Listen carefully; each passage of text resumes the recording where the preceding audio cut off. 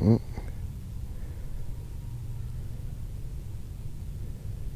I think I landed on something.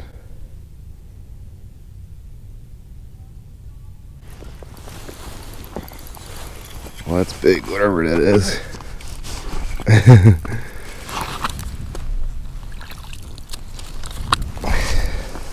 Just hopping around this morning. This feels really big, whatever it is.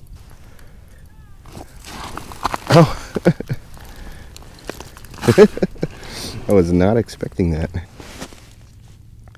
I guess the first fish today is a smallmouth. Not gonna play with them too much, it's pretty cold out here. Go on.